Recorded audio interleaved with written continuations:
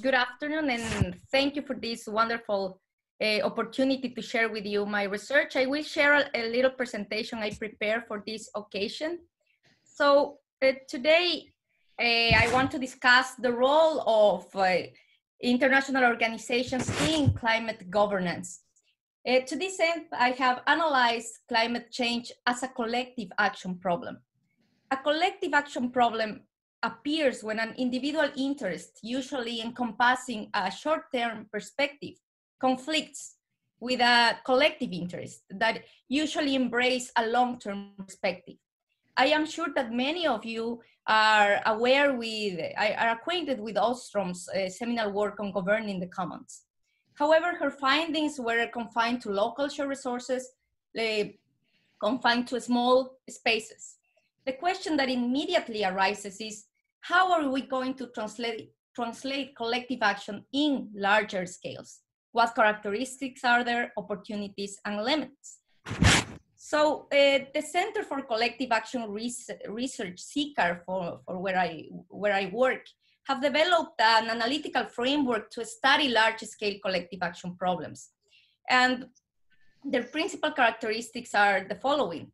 For instance, the first one refers to anonymity. If we take climate change as, a, as an example, it involves a wide variety range of actors that are not locally confined, and therefore the likelihood of cooperation diminishes. Anonymity deepens since act actors are located across geographical scales, but also includes a temporal element, present and future generations. Cooperation is less likely to occur in large scale action problems due to several forms of heterogeneity, including difference, for instance, in identity, socioeconomic status, and power asymmetries heterogeneity may involve different perceptions of even of the responsibility towards the problem. And I think this becomes clearly illustrated in the evolution of the climate change regime.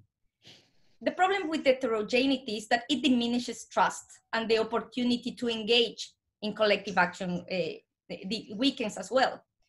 In this, in this scenario, transparency frameworks are fundamental at global and regional levels because the success of collective action rests heavily on the possibility to verify what all actors are doing, the mechanisms used to implement their obligations, and the challenge to achieve common goals.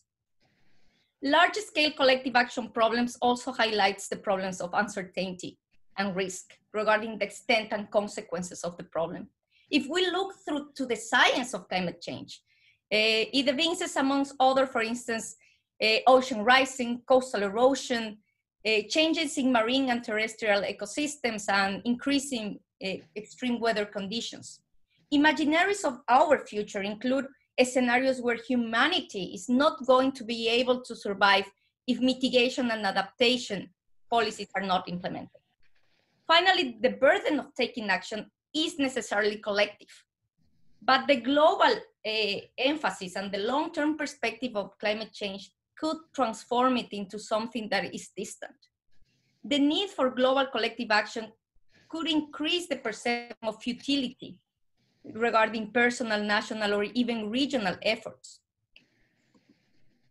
So I argue that collective action will be fostered when situationality is achieved.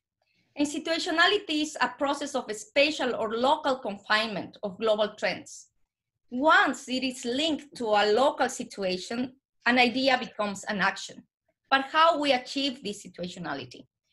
Uh, concerning situationality, my research focuses on climate change in the Arctic because of the fundamental role of the cryosphere in the regulation of climate. An interesting political and legal development concerns the construction of the Arctic as a, a international legal region. We know that law and space are intimately connected.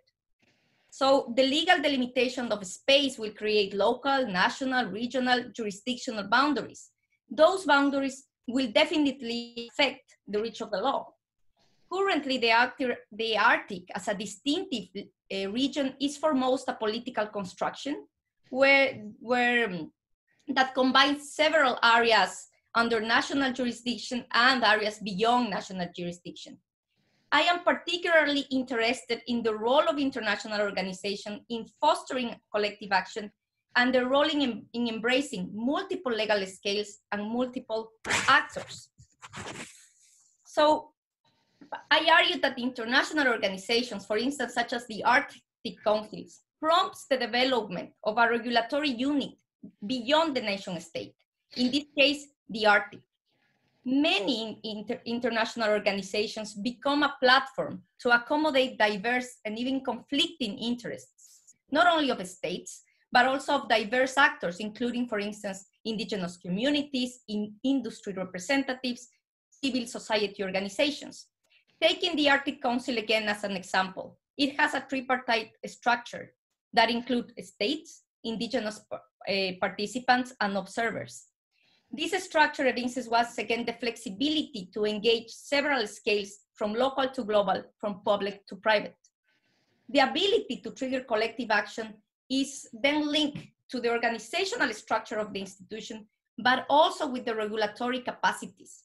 And these regulatory capacities can be roughly uh, classified as lawmaking activities, data collection, analysis and dissemination, monitoring and, supervi and supervision, and finally dispute settlement mechanisms.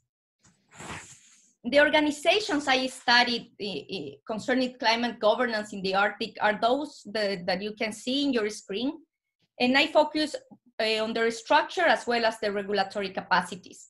The Arctic Council, the European Union, and BEAC, for instance, has took as a basis for their work uh, the reports of the IPCC in order to advance and disseminate further scientific uh, reports regional scientific reports, to some extent, for instance, addresses the problems of anonymity by identifying in a regional scale the actors and the economic sectors that contribute to climate change and there are in, in those that are specifically affected by it. Depending on the detail level, also hard and soft law standards could effectively counteract, counteract the problems of large scale collective action problems. For instance, the technical guidelines and binding regulations uh, established under the auspices of the International Maritime Organization, IMO, concerning shipping activities in the Arctic is a perfect example on this matter. It establishes clear boundaries regarding the, the region, in this case, the Arctic, uh, who, which actors are going to take action, how our risks are going to be managed overall, I think that breaking complexity is a necessary first step. International organizations bring the necessary situationality to, to of global trends. The structure of international organizations is also relevant. Uh, the participations, for instance, of local authorities such as in BEAC or indigenous communities like in the Arctic Council facilitates the translation of global goals into regional and local settings. Now some concluding remarks. Well, situationality is yet to be achieved in climate governance in the Arctic. This stems mainly from the legal status of Arctic institutions. The Arctic Council, for instance, is the central forum for adopting regional policies for climate change. However, its soft law status, ad hoc budget, and low political commitment of its member states preclude it from becoming a regulatory institution without this transition into a, a treaty-based uh, organization with extended powers, the situation may not change. While data collection and dissemination is certainly important, the time has come to focus on policy and further binding regulation. The spatial constraints faced by the European Union affect situationality negatively. Since the European Union has limited regulatory and supervisory capacities in the Arctic, its policy has been modest, uh, despite its continuous efforts of the European Union to build an Arctic identity. There is also a general assumption that polycentric governance systems or cooperation between uh, international institutions coordinates uh, different legal regimes that are related, could develop consistent and comparable obligations and decrease uh, regulatory gaps. However, in the absence of formal or informal cooperations, uh, there could be a room for potential confusion, duplication, and even conflicts. So thank you very much for your attention and I am looking forward to answering your questions.